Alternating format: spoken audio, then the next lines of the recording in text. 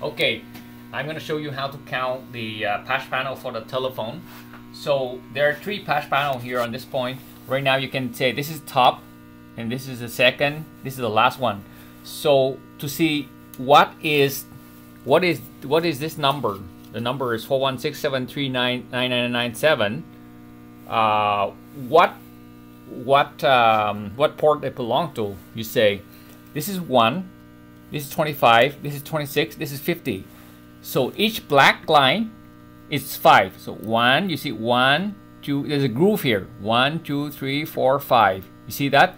So 10, 15, you see the black line? 15, 20, 25. That's how they write here, 25. So this is 26, 27, 28, 29.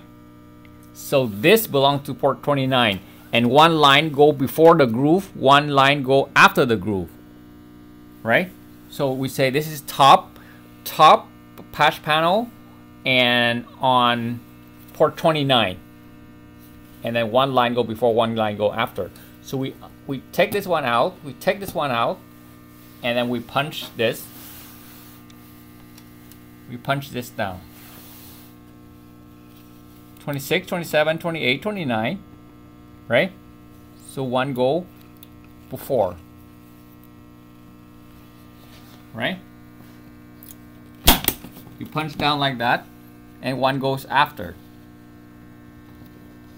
You punch down like that. This doesn't seem like it's punching. Uh, do again.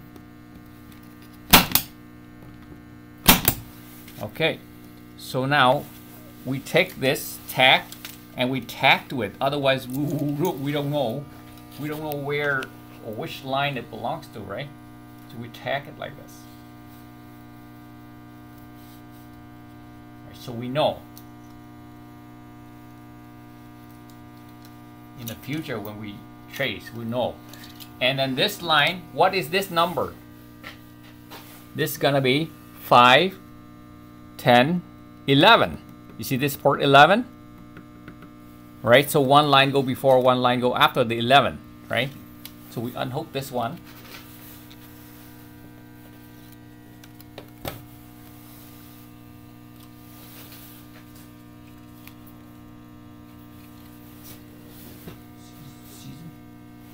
Oh, I got Gotta cut this guy. So punch down on the 11. 5, 10, 11.